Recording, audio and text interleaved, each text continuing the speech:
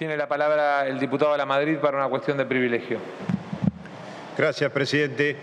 Me veo en la obligación de volver a intervenir y plantear la cuestión de privilegio en el mismo sentido que lo hice cuando comenzó la sesión, pero por otros hechos que ocurrieron, su llegada a la Cámara, como le señalé, con la presencia de varios ministros y de intendentes.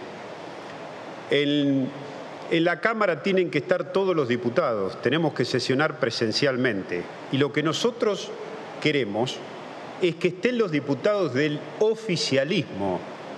No estamos sesionando presencialmente si usted, presidente, declara, bueno, si Juntos por el Cambio quiere sesionar presencialmente, que vengan.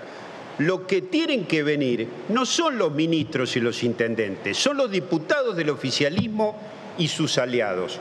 Nosotros reconocemos el trabajo de los ministros y de los intendentes como un trabajo esencial. Siempre lo hemos dicho.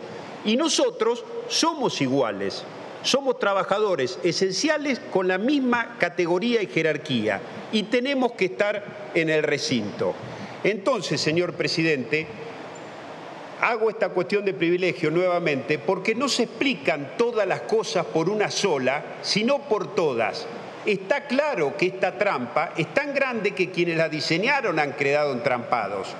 Las sesiones virtuales son una decisión política, no sanitaria, porque todo el mundo está sesionando de manera presencial. Europa, Japón, Oceanía, Estados Unidos, todos nuestros vecinos, pero nosotros no, porque es una decisión política, como fue una decisión política la cuarentena eterna.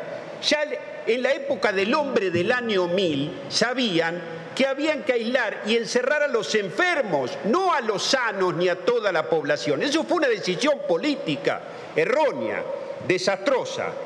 Mire, señor presidente, ustedes tienen derecho, y termino, desde el oficialismo a proponer todos los, los proyectos de ley que les parezca. Tienen derecho a hacer las alianzas que les parezca. Han consolidado una mayoría y ahora quieren arrebatar el funcionamiento del Parlamento. Lo que no tienen derecho es a cobrarse los penales y a patearlos, a sesionar de la manera que se les ocurre. Hay una manera de sesionar y es a la que tenemos que ir. Y termino, presidente. El Congreso de la República es el que expresa la salud de la democracia y sabe qué están haciendo debilitando y degradando la democracia. Esta tiene que ser la última sesión virtual. No vamos a debatir la reforma oficial de esta manera, presidente. Gracias, diputado.